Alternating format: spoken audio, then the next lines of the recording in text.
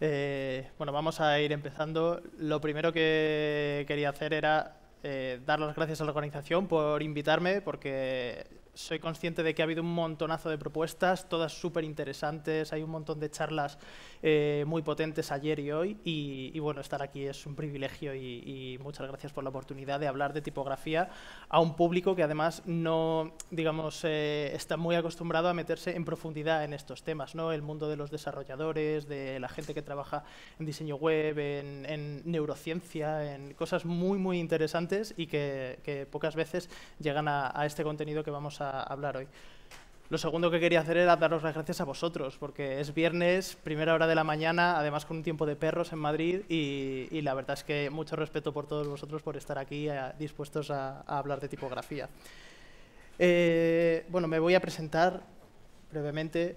Yo soy Pablo Gámez, eh, soy de aquí de Madrid, trabajo en diseño de tipografía y bueno, la verdad es que siempre me ha gustado este tema, eh, incluso cuando estaba trabajando de diseñador gráfico, haciendo proyectos de diseño editorial, diseño web, siempre sabía que la parte tipográfica era pues, eh, lo que más me interesaba porque tenía todo un trasfondo detrás de, bueno, de humanismo, de historia, pero también de dibujo a mano, de técnicas manuales. Y bueno, os voy a mostrar un poquito algunas de las cosas que a mí me hicieron enamorarme de la tipografía para hablar del tema que hemos venido a tratar.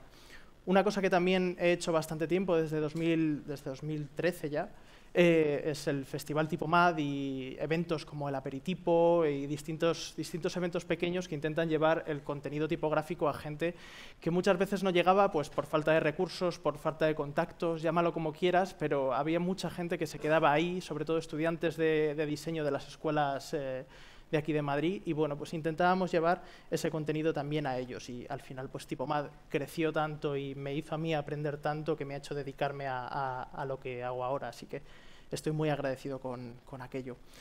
El día a día de un diseñador tipográfico eh, para muchas personas puede ser un poco mm, desconocido. ¿Cuántos de los que estáis aquí sois diseñadores? Vale, muy bien, la mitad más o menos. Eh, ¿Cuántos sois desarrolladores de web, de UX, de temas digital? La otra mitad, muy bien, perfecto. pues eh, el diseño de tipos es una cosa bastante específica, bastante, digamos, repetitiva algunas veces, pero que tiene partes bonitas. Nos pasamos bastante tiempo haciendo, pues, por ejemplo, caligrafía, de donde viene todas las letras es de la caligrafía. Entonces, esa práctica te va a dar muchas pistas para lo que luego vas a traducir a vectores, a digital, Dibujamos mucho a mano también, intentamos eh, entrenar distintas destrezas para que luego cuando vayamos a los vectores sepamos muy bien dónde colocar los puntos. Eso es lo que te da el dibujo a mano. Hacemos incluso tallado de piedra algunas veces. Pero la parte digital es una parte muy, muy larga, más de lo que algunas personas se podrían imaginar. Nos pasamos muchas horas mirando estas páginas y realmente intentamos ahorrar todo el tiempo que podamos. Esto nos lleva a algunos diseñadores de tipos, a, la verdad, los más productivos, eh, a aprender Python, porque es el lenguaje en el que habla el, programa de tipografía. Casi todos los programas de tipografía hablan bastante bien con Python y, es la forma que tienes de ahorrar un montón de pasos que serían repetitivos, largos y sobre todo que tú como humano puedes fallar, pero la máquina, si tú escribes un programa bastante bueno en Python que te vaya a hacer una receta, estás seguro de que eso va a salir bien hasta donde tú lo hayas programado, evidentemente. Eh, el caso es que yo para formarme en todo esto el año pasado estuve en el máster de and Media, que está en La Haya y digamos que ahora mismo es uno de los mejores, si no el mejor sitio para aprender a diseñar tipografías. Es un campamento tipográfico perfecto de un año donde te metes en una habitación, te pasas el día dibujando, haciendo caligrafía, hablando con profesores que, son un sueño conocer y la verdad es que allí descubrí mucho más la profundidad tecnológica que tiene el mundo de la tipografía y hasta dónde se puede llegar a adaptar las letras y, los textos para que las personas que lo van a leer pues eh, empaticen con él y, todo les salga un poco mejor. Y en aquel momento, además, eh, era finales de 2016, justo cuando estaba empezando el curso, y salió algo que, digamos, ha revolucionado o aspira a revolucionar el mundo de la tipografía las variables fonts. Las variables fonts eh, explotaron, eh, era algo totalmente nuevo, era la evolución lógica del formato de tipografía que hemos tenido hasta hoy, pero es algo que tiene tantas posibilidades que mucha gente se volvió totalmente loca y empezó, bueno, es que esto va a ser totalmente distinto, vamos a tener que tirar las tipografías que hemos hecho hasta ahora, vamos a tener que hacerlas de nuevo. Evidentemente no. Eh, hay, hay mucho de mito, mucho de gurú por ahí detrás. Es verdad que es algo muy interesante las variable fonts, eh, pero hay que entenderlas muy bien para saber hasta qué punto pueden encajar en el workflow de un diseñador gráfico, de un desarrollador, de la gente que al final son los que las van a usar. Muchas veces los diseñadores de tipos en este mundo pequeñito en el que vivimos, pues estamos eh, un poco aquí en los memes de esto me encanta, es precioso, bueno ya, pero ¿para qué va a servir? Pues eh, durante la charla de hoy yo os voy a intentar eh, aclarar qué son esto de las variables fonts, cómo pueden servir en el mundo real y cuál es la diferencia con lo que había hasta ahora, que es lo importante. Al final, eh, por muy útiles que sean, si lo que ya había ya hacía lo mismo, pues ¿para qué vamos a, cambiar y a montar todo este pollo, verdad? Eh, hay algunas personas que ya han estado hablando de este tema porque en concreto en el mundo del diseño y de la tipografía es algo bastante caliente. Ha habido un montón de festivales que han tenido ponentes hablando de variable fonts. Es un poco, digamos, como las criptomonedas de la tipografía. Todos los festivales están llenos de gente hablando de ello. Poca gente realmente tiene idea y, a todo el mundo le encanta escuchar de ello, pero realmente poca gente se, mete a, hacerlo. Estas personas, eh, los tres de arriba, han estado dando charlas en inglés eh, sobre este tema y que yo sepa, luego Twitter me corregirá seguramente, no ha habido aún charlas en español sobre esto y es un problema porque la comunidad hispanohablante, tanto en Latinoamérica como en España como en otros puntos, pues es eh, un campo en auge en el diseño tipográfico, es muy potente y sobre todo hay un montón de diseñadores y desarrolladores a los que también les interesa esto y que a lo mejor por el tema del idioma no les está llegando del todo. Si entendéis inglés, os recomiendo las charlas de Tipo Labs eh, que están todas en YouTube y son súper interesantes y van muy en profundidad en, en, algunos campos específicos de esto de las variable fonts. No os voy a explicar todo de forma directa, voy a intentar hacerlo con algunos ejemplos, entrando en cómo funciona el formato y de dónde ha venido todo, para que, bueno, pues digamos que lo entendáis lo mejor posible. De todas formas, al final hacemos una ronda de preguntas y si alguien de verdad tiene cualquier duda, eh, hasta el punto en el que yo pueda, intentaré, intentaré responderlas. Vamos a empezar con un problema que hemos arrastrado desde hace un montón de años, casi desde el inicio de, la web y, de Internet. Eh, la riqueza tipográfica es algo que hemos perdido. Es verdad que estamos recuperándolo últimamente, pero la riqueza tipográfica es algo que nos ha costado mucho traer al mundo digital una charla muy interesante que ocurrió aquí mismo ayer con Jesús González.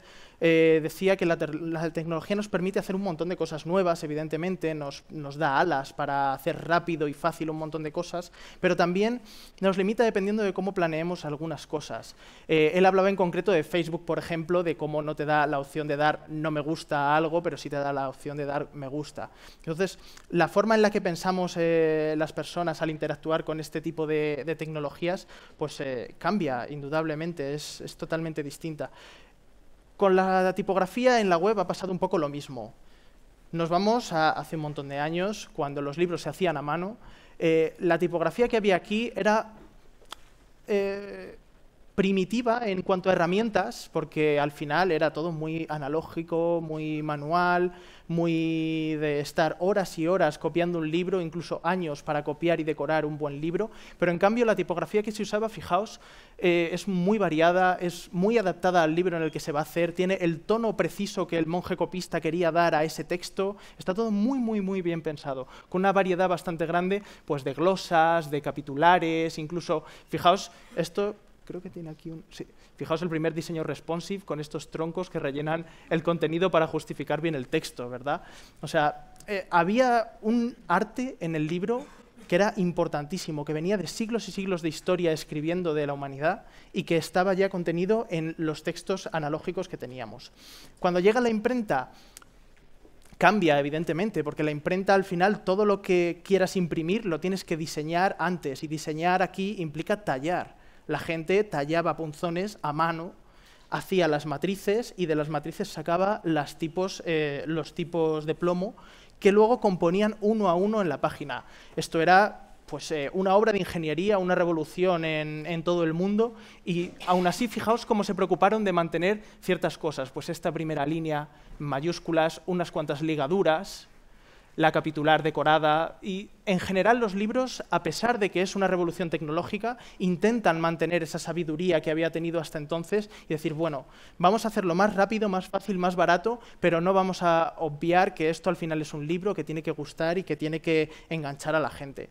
Incluso más adelante, fijaos cómo se preocupan de hacer eh, los dingbats, los iconos, los emojis de hoy en día, para rellenar el texto y justificar incluso mejor. Primera línea en rojo, otra capitular grande, una entradilla aquí arriba.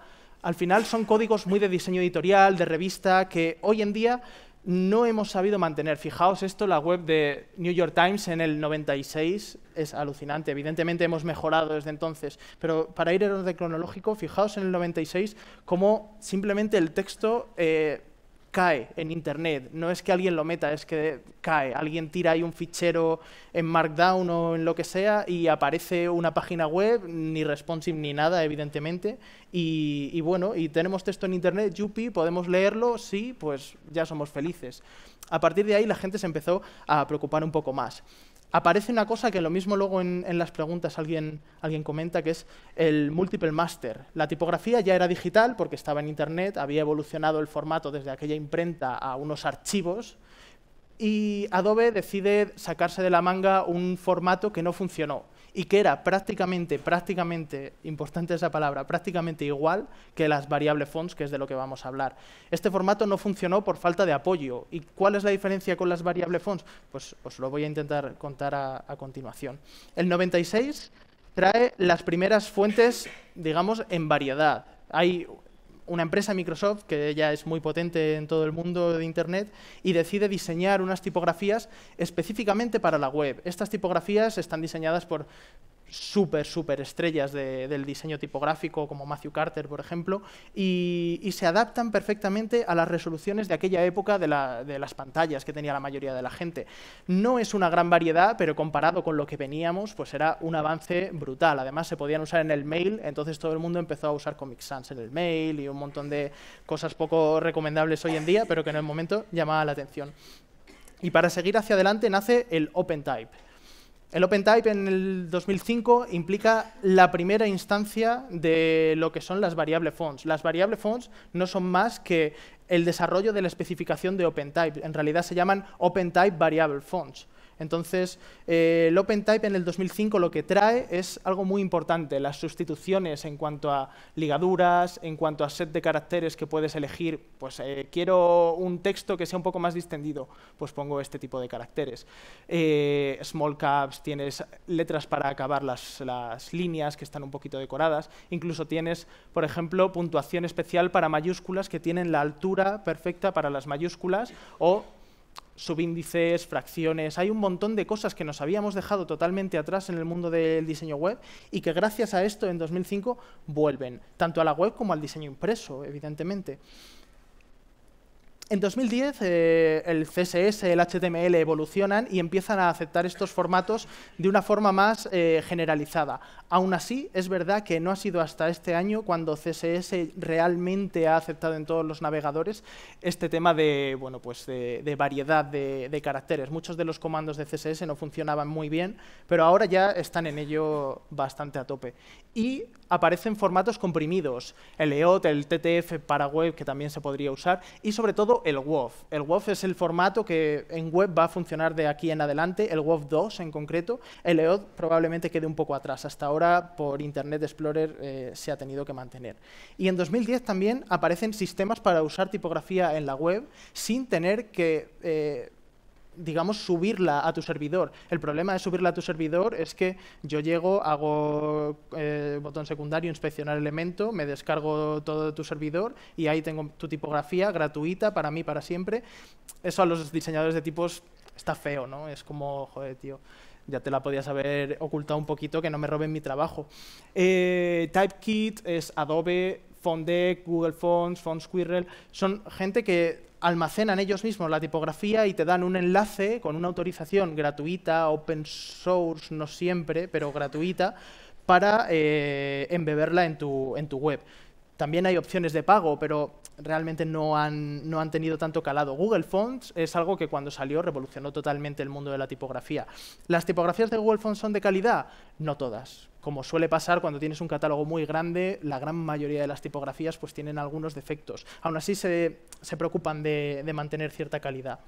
Y esto a lo que nos lleva es a un problema del presente, porque esto nace de la necesidad de que cuando sirves una web, los desarrolladores seguro que lo sabéis, tienes que ser muy rápido, tienes que optimizar todas las imágenes, tener vídeos si puedes eh, enlazados fuera para que estén lo más comprimidos posible y esto afecta también a la tipografía. Entonces, el problema del presente es cómo haces que las tipografías, a pesar de ser un WOF, a pesar de ser un OTF o un TTF, eh, pese lo menos posible y se renderice lo más rápido y lo más inteligentemente que puedas en tu web. Sobre todo en en webs pequeñas a lo mejor no tienes ese problema, pero imaginaos hacer la web para Vogue o para New York Times, como hemos visto, pues vas a tener una variedad tipográfica que la tienes que tener, por lo que hemos visto de la riqueza tipográfica que hay que aplicar a la web, que es algo difícil de mantener con el sistema que teníamos hasta ahora, que era un montón de archivos distintos, el CSS totalmente liado con una ristra larga de arroba fontface para enlazar todas, todas las tipografías.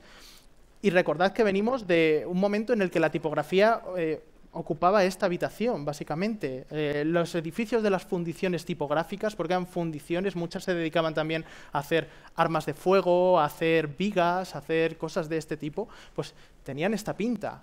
Eran auténticos edificios mamotretos gigantes donde se producían las fuentes y además donde se almacenaban. Una tipografía grande, podía ocupar pues, eh, una superficie enorme, costaba muchísimo dinero y imaginaos ser un periódico e intentar tener varias tipografías disponibles. Pues tenías que tener un espacio alucinante. Todo eso hoy en día ya hemos solucionado bastante. Un TTF más o menos pesa en unos 110K.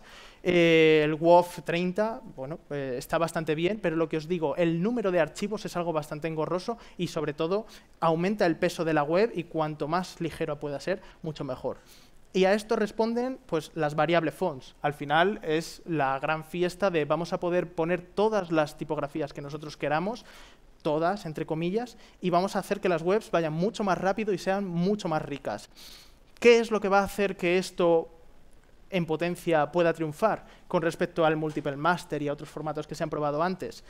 Que la gente que hay detrás es muy potente. Al final, el Multiple Master eh, solamente estaba Adobe por detrás, eh, Apple intentó con GX hacer una cosa parecida, pero iban por sitios separados y dijo, tú no me das tus archivos, pues yo no te doy los míos, hala, pues eh, la pelota para mí. Y ahora han cogido estas cuatro mega empresas y han dicho, oye, oye, a nosotros esto de que las webs eh, pesen poco, como que bien, ¿no? Nos interesa bastante. Mm, Adobe tiene un montón de programas en los que sirve ellos la tipografía a través de Typekit. Google no hace falta ni que os diga hasta dónde llega. Apple además tiene sistemas operativos que, que, bueno, que intenta hacer lo más rápidos posibles y, y Windows también. Además, sobre todo, pensad que estas empresas llegan a mercados asiáticos, donde una fuente japonesa, que suelen incluir también el chino, por ejemplo, pesa pues del orden de 15 o 20 veces lo que una de las nuestras, y, aún así optimizada. Eh, para ellos era muy importante tener unas fuentes muy ligeras, y el primer beneficiado de todo este cambio, no os engañéis, van a ser ellos, no vamos a ser nosotros. A ellos es a los que les van a ahorrar millones y millones de dólares en, servir datos solamente por este cambio. Pero bueno, vamos a ver también algunas ventajas que puede tener para nosotros y reflexionar sobre ello. John Hudson, que es un diseñador tipográfico de Canadá muy, muy, muy potente, eh, hablaba de las variables fonts como un archivo que se comporta como varios, como una especie de esquizofrenia tipográfica en la que el archivo no solamente es quien es, sino que puede ser un montón de otras tipografías. Pasaríamos de tener esa ristra de TTFs que echas con pala a la web o a tu archivo de InDesign o donde tú quieras, a tener un super OTF que se va a comportar dignamente en las condiciones que tú le estás necesitando. Pero, claro, ¿cómo vamos a combinar todo esto? Puedes coger la Comic Sans y decirle tú, júntate con la Times New Roman y con Arial y con Helvética y os metéis todas en un archivo y entonces os hacéis el OTF gigante maestro. No, hay que seguir determinada lógica. Eh, la lógica que vamos a seguir es muy matemática, muy parametrizada, si lo queréis, pero era la forma más eh, eh, optimizada de embeber todas estas fuentes juntas. Es la familia tipográfica. Todos conocéis pues, una familia tipográfica básica, regular italic, bold y bold italic, que te cubre unas necesidades, bueno, básicas para tu web, para tu revista, pero las familias son de muchos tipos. Ya sabemos que puede haber familias, incluso yo qué sé, pues que tengan variaciones en ancho, que tengan eh, versión display para tamaños gigantes y versión eh, micro para tamaños muy pequeños, o una familia que tenga dos tipos de itálicas para distintas eh, necesidades. Por ejemplo, pensad en un currículum, cuando tenéis tanta información pequeñita que categorizar, pues dos itálicas a ellos pueden venir bastante bien es ahí donde vamos a tener todo el potencial de las variables fonts. Os voy a poner un ejemplo además muy reciente donde esto se podía implementar. Eh, probablemente muchos conocéis eh, la identidad que, se hizo para Dropbox hace bastante poco, la presentaron a bombo y platillo en el mundo del diseño, pero realmente esto que presentaban no se llegó a implementar totalmente. Es muy impresionante porque ves esta tipografía que es totalmente flexible, que se adapta, que se hace responsive. Mm, es, un poco difícil llamar responsive a esto, pero bueno, sí que es verdad que se adapta a, las condiciones que tiene alrededor y, esto era muy guay. Cuando salió, pues todo el mundo dijo, ¡jo, qué, buen uso de la tipografía, qué identidad más bien basada! Pero claro, tenía una parte un poco oculta, que es todos los estilos que necesitas usar para crear esas animaciones y toda esa identidad. Unos 224 más o menos. Imaginaos tener que cargar en una web 224 estilos, por muy pequeños que sean, el ordenador va a empezar a temblar como una lavadora y, el, usuario se va a cansar al final. Hicieron como una demo eh, en, su web, que si os fijáis, la tipografía aquí, según se hace más estrecha la ventana, pues reacciona y se hace lo que os digo, responsive. Pero claro, esto eh, aún no es una variable font real porque los navegadores, cuando salió la, nueva identidad, aún no estaban totalmente al día en cuanto a variable fonts. Eh, tenían que cargar un montón de instancias de la tipografía y eso pues aumentaba el peso y tal. Probablemente esto va a evolucionar a que se implemente una variable font en el momento que va a ser dentro de muy poco que todos los navegadores estén al día y ahorrarán todo el, todo el peso extra que tenían y esto se va a extender al resto de identidad de Dropbox. Lo mismo lo tenemos en la ventana de inicio, hay incluso más aplicaciones mucho más interesantes para el día a día, no solamente esto que es más bien decorativo, ¿no? Eh, y vamos a ver también cómo eh, la familia tipográfica se mete dentro de esa variable font y cuáles son las estrategias. No quiero hablar tampoco demasiado desde el punto de vista del diseñador de tipografías, pero creo que es importante que tanto diseñadores gráficos como desarrolladores entendáis eh, cuáles son las premisas que tenemos los diseñadores de tipografías para hacerlo, sobre todo porque si algún día se os ocurre algo, esto es algo que voy a insistir mucho, vengáis a un diseñador de tipografías y le digáis, oye, quiero esto o me gustaría adaptar esta tipografía estamos siempre muy abiertos a ese tipo de cosas.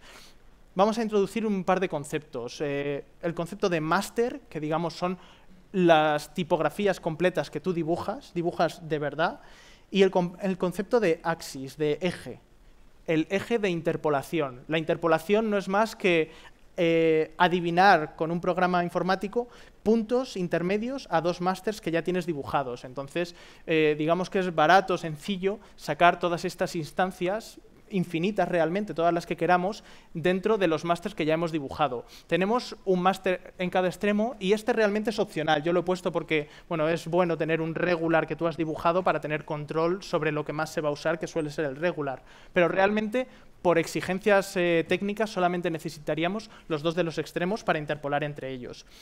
De ahí el diseñador tipográfico saca las instancias. Hasta ahora, a vosotros lo que os llegaba era una instancia, un regular, un semibold, un bold, que había elegido el diseñador tipográfico para exportar desde esta interpolación. Con variable fonts lo que vamos a tener es todo este rango. Aún así vamos a tener unas instancias que están nombradas, cuando tú lo metes en un Illustrator, en un Word, en cualquier sitio, si le das a la ventanita te siguen saliendo las instancias que el diseñador ya ha pensado, pero te da la posibilidad de elegir entre todo esto. Entonces, eh, la flexibilidad se multiplica por mil y las posibilidades también para meter cosas ahí, eh, digamos, guiños más eh, matizados en cuanto a la categorización tipográfica, pues se multiplica. Este axis, este eje, es solamente un ejemplo. Podemos tener un eje también de condensación para hacer que las letras encajen un poco mejor en un párrafo, que se lean un poco mejor en pequeño, pues podemos tener también un eje, un eje de ancho. Y lo más importante, podemos combinarlos, podemos tener los dos ejes a la vez y estas instancias que están en medio también son calculadas, también son exportadas y al diseñador gráfico y al desarrollador lo que le llega es todo esto, una variedad nunca vista en tipografía. A ver qué nos vamos una variedad nunca vista en tipografía que te abre las puertas a juegos mucho más interesantes y sobre todo pensad en los axis que podríais meter aquí. Ahora vamos a hablar de algunos, pero es, prácticamente lo que os dé la gana podríais hacer. Todo esto está basado en una teoría tipográfica de Gary Northside que habla de cómo los parámetros en tipografía pueden definir esqueletos que te ayuden a luego diseñar de forma mejor y digamos, eh, tenga coherencia todo el alfabeto que tú estás diseñando. Esto realmente es un eje de interpolación como los que hemos visto, en cuadrado, y que se extiende en un cubo. Aquí seguramente lo veis mejor, vemos como este, este cuadrado es lo que estábamos viendo antes y se extiende en otra dimensión más. Entonces aquí tendríamos tres ejes de interpolación. ¿Vale? Es como si superpusiéramos unas cuantas capas de lo que habíamos visto al principio. Eh, esto es lo más importante realmente de las variables fonts en cuanto a diseño. Mm, hasta ahora diseñar letras bonitas era suficiente.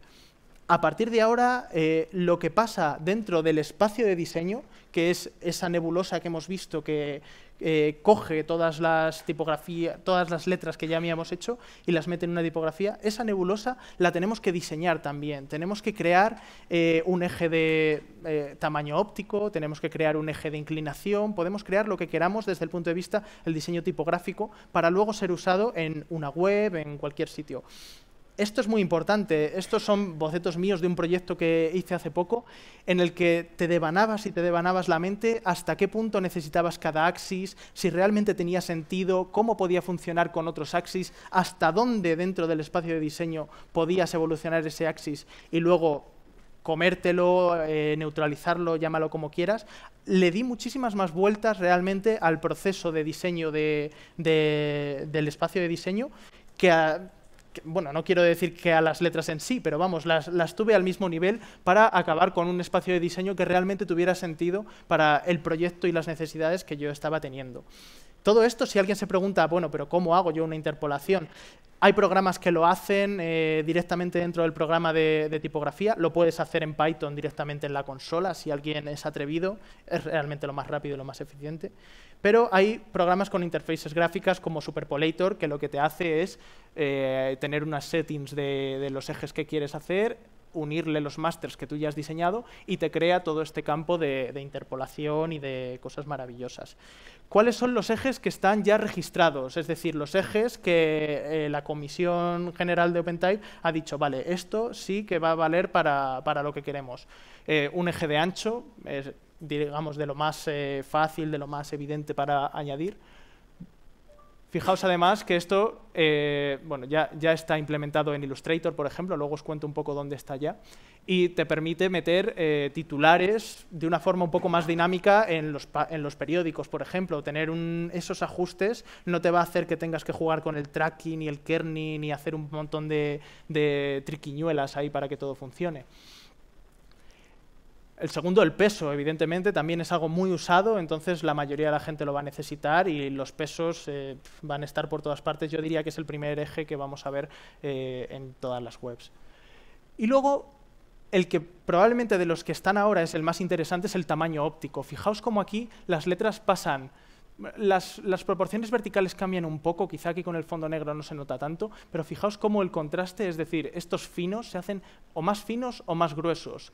Cuando el tamaño del fino es muy fino, es un tamaño display para usarse en tamaños muy grandes, donde no va a haber unas necesidades ni de resolución de pantalla ni de impresión que vayan a hacer que eso desaparezca, entonces podemos ir a lo expresivo. Esta versión que digamos es más ruda, es un poco más eh, ancha, con los finos un poco más gordos, es para tamaños muy pequeños donde el ojo necesita ver mucho más claro lo que hay. ¿Es blanco o es negro? Es decir, aquí ¿tengo línea de la A o no tengo línea de la A? Entonces se lo tienes que exagerar un poquito para que el ojo realmente enganche con esa línea y diga, vale, esto es una A y no es una O o un 8 o lo que tú quieras. Además, esto viene de lo que os decía de la riqueza tipográfica. en la época de, de las tipos en plomo, las tipos se hacían para los tamaños. O sea, tú no podías luego decir, bueno, este tipo de plomo la pongo a 14 puntos. No, era de los puntos que a ti te habían dado. Y la diferencia que había dado, la, diferencia de diseño que había entre puntos pequeños y puntos grandes era bastante evidente. ¿no? Estaba ya todo adaptado al tamaño óptico en el que se, vaya, en el que se iba a usar. Y esto con las variables fonts, pues vuelve a estar ahí. Otro ejemplo también son los cambios en los diseños literalmente. O sea, fijaos cómo desaparecen algunos detalles. Esto está en una web muy interesante de Fonshop que tiene los ejemplos de la Clifford y se ve cómo pega un salto. Eso en la interpolación lo puedes hacer. Le puedes dar una regla que diga a partir de 12 puntos tienes que cambiar a este otro diseño alternativo. Y eso te abre, la puerta también a un montón de cosas muy interesantes, no solamente en tamaño óptico, sino luego veremos ejemplos eh, en un montón de cosas. Y el último eje que está aprobado es el de inclinación. Fijaos que digo inclinación y no italianización, o llámalo como quieras. No es que hagamos las letras itálicas, las inclinamos. Fijaos en la construcción de la A, que sigue siendo una A como se ve en una tipografía más digital. No es una A manuscrita de estas que tiene un loop y entonces una bajada. Es una A inclinada. ¿Se puede italianizar? Se puede, pero ahora mismo esas transiciones eh, aún están un poco en cuestión porque los ejemplos que estamos viendo eh, aún están, están por hacer, pero seguro que se va a poder. ¿Y todo esto pesa menos? Como estamos en TechFest, me voy a tomar el gusto y, quiero además que, entendáis la parte técnica de las tipografías porque me parece que es la gran clave de todo esto. Eh, no voy a entrar tampoco en cuestiones demasiado complicadas. Una letra viene definida por un montón de puntos. Hasta aquí es fácil, ¿no? Dentro del archivo de tipografía tenemos una X, una Y y un, valor de sí o no que nos dice si está dentro de la curva o si está fuera. Hasta ahí es muy sencillo.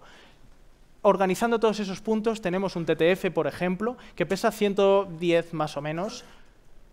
Pero claro, añadimos también un bold. Vale, pues tenemos también otro set de puntos con la misma estructura que almacenamos en otro TTF que tiene también otro peso de más o menos 100, 110.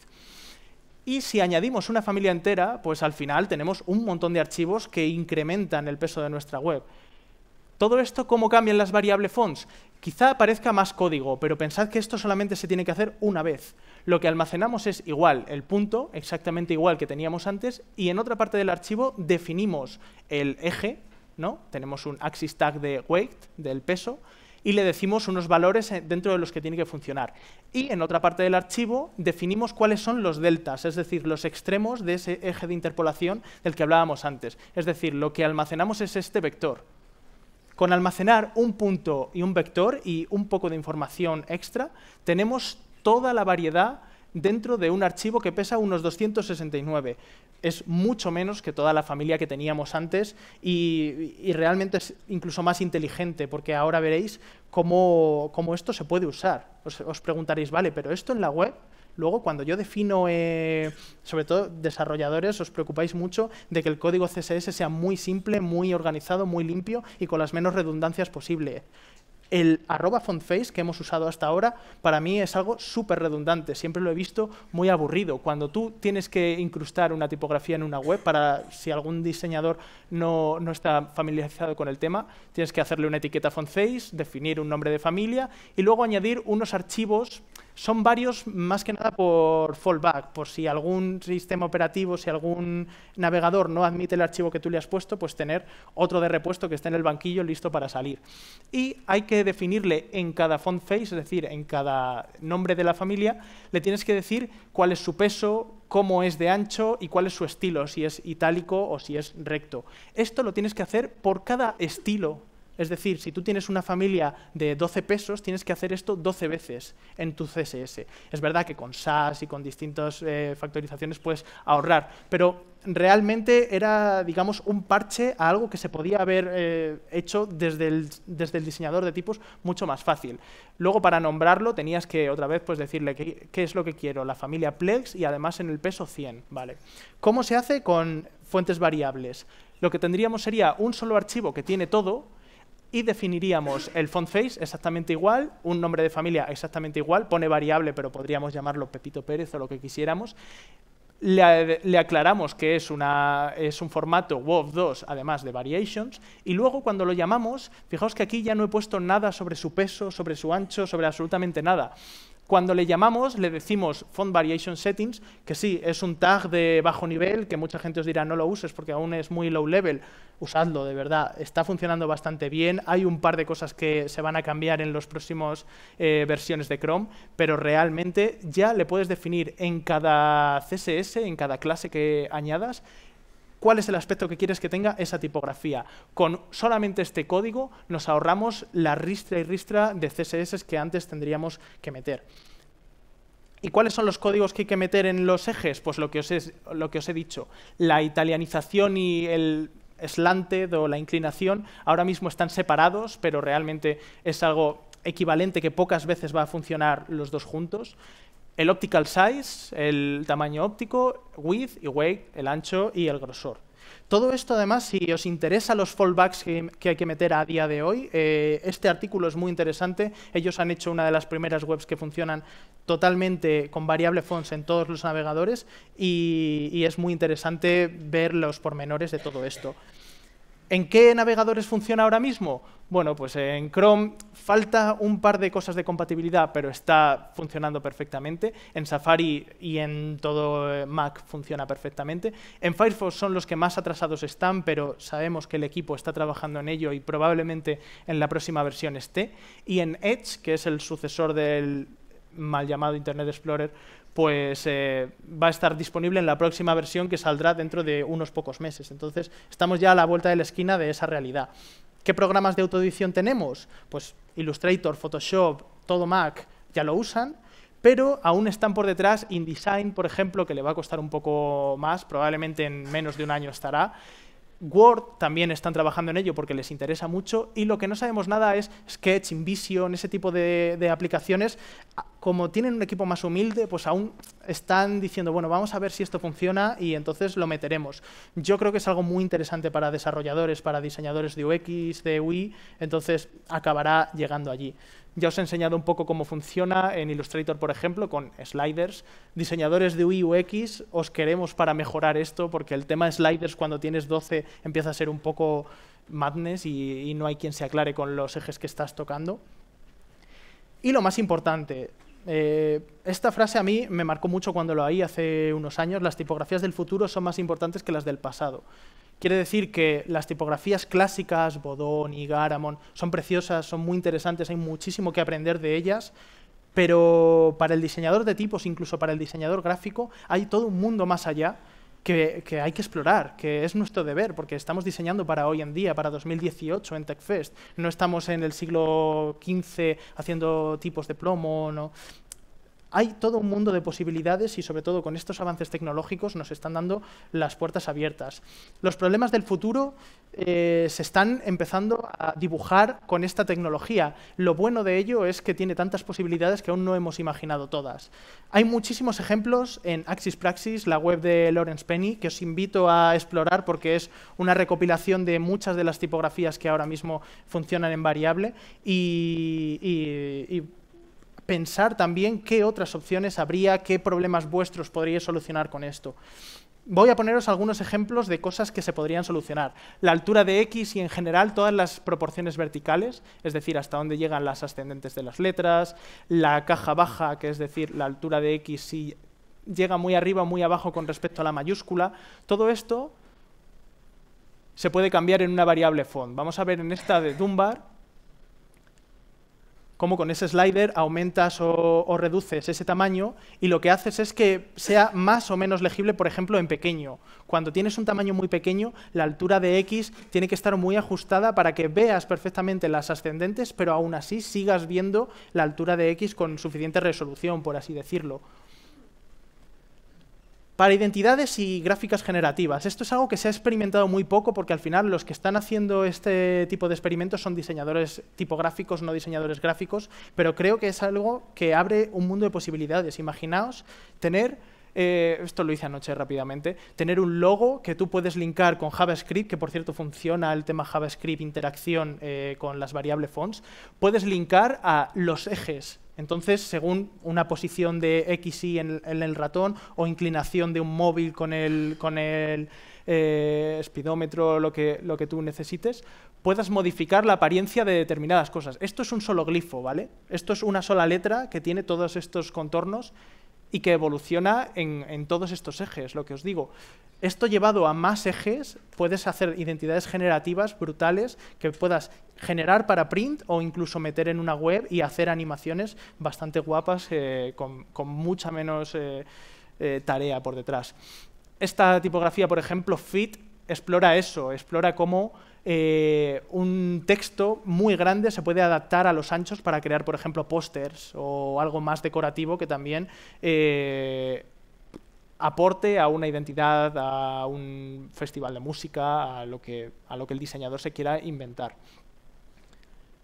Por ejemplo, en este experimento, eh, bueno, tiene un eje de peso, tiene un eje de ancho también, y lo interesante es que tiene un eje de stencil. Entonces, no solamente el stencil se activa o se desactiva cuando quieras, sino que puedes medir cómo de grande va a ser ese stencil, hasta qué punto tú vas a ser visible en, pequeño, en grande, puedes jugar con distintos estilos,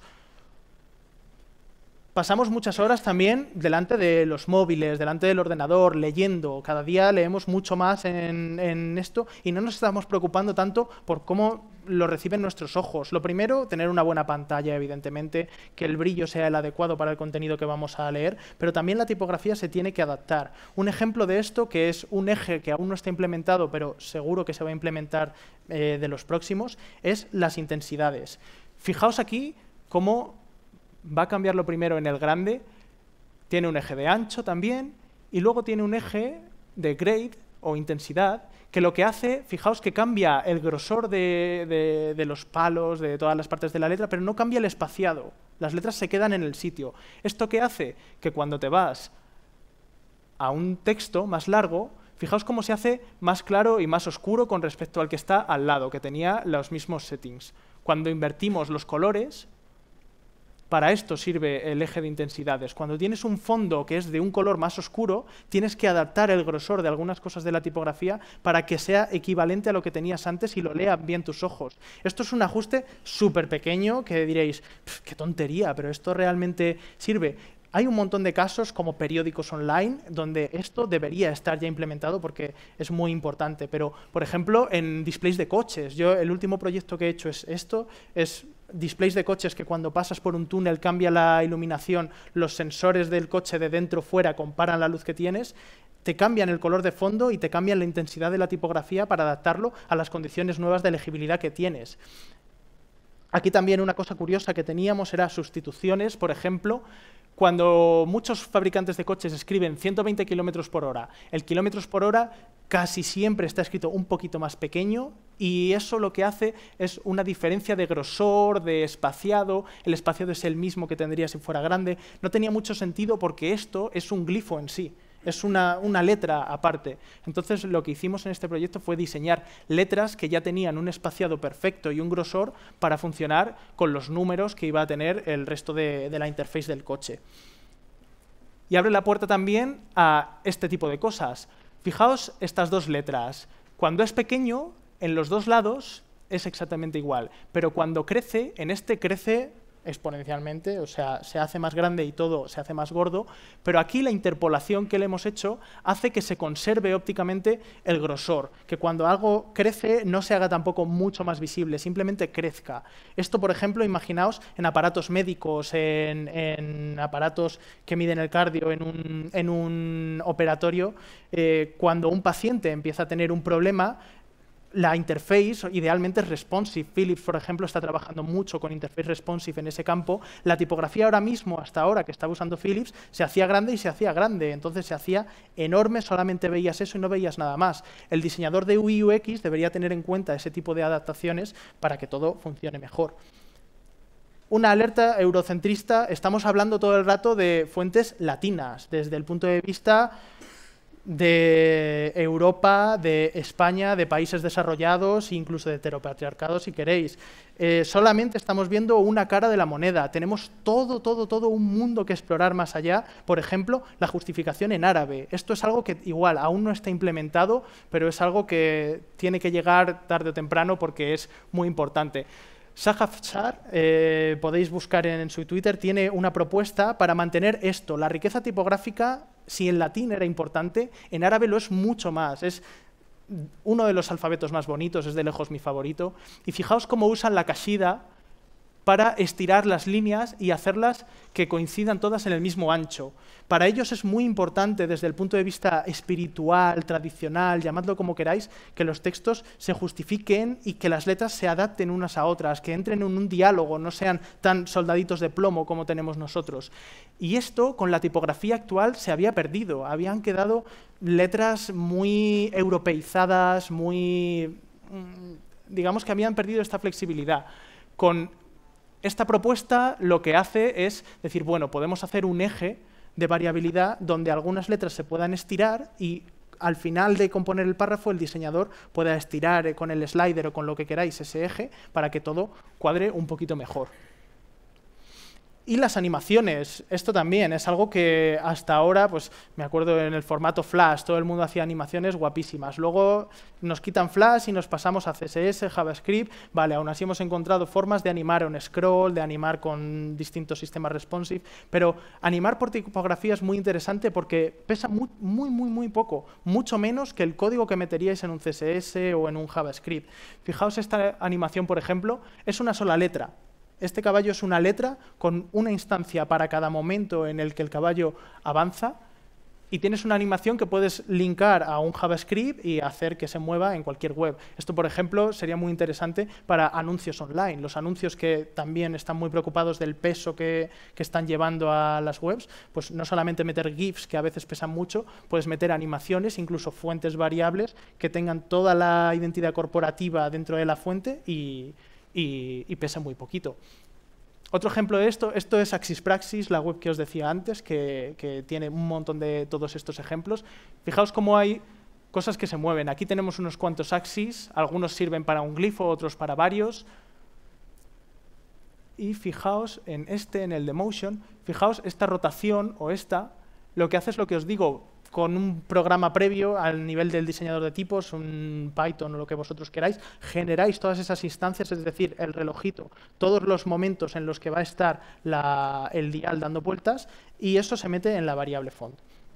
Otro ejemplo también es animaciones para motion graphic, por ejemplo. Era bastante difícil hacer que las letras se animaran. Si alguno habéis hecho motion, seguro que lo sabéis. Que algo se anime y sea eh, fluido era bastante difícil. Tenías que hacerle morphings, tenías que hacerle refactorización de tiempo, era bastante complicado. Con las variables fonts puedes tener un eje de dibujo, en el que tú le digas en, After Effects, bueno, pues este eje quiero que hasta este punto le pones un keyframe y quiero que funcione hasta el 50 y luego hasta el 150.